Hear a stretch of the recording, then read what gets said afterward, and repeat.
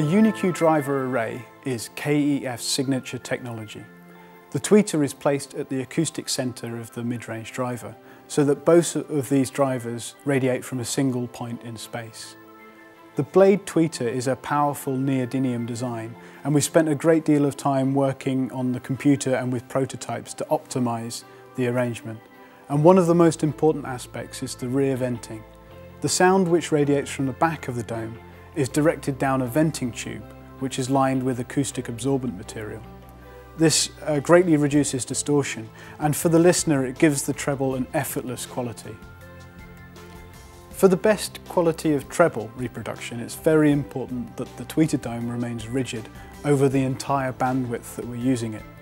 And for the blade we're using a KEF technology called the stiffened dome. The dome structure is made in two parts and these two form a triangular strut at the outside edge, just like you'd see on a engineering structure such as a bridge. And this triangular shape is very strong and dramatically increases the rigidity. One of the most visually distinctive parts of the UniQ driver is the Tangerine waveguide, which sits in front of the tweeter dome. And this is a patented technology which we've been working on and perfecting for many years. With a conventional tweeter, at the very top end, the sound becomes very narrow and beams towards the listener.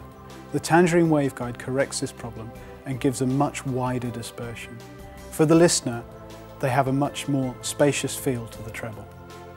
The shape of the tweeter dome is carefully matched to the cone shape of the mid-range driver.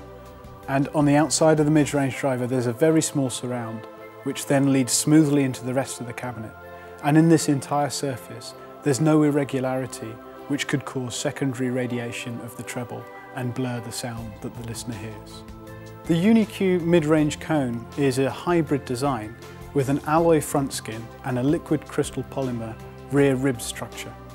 The position of the voice coil is optimized to be at a nodal location and the effect of this is to dramatically improve the rigidity over the whole bandwidth. Any vibrational problems are eliminated by placing the UniQ in a separate enclosure and decoupling this from the rest of the cabinet. Blade, celebrating 50 years of innovation in sound.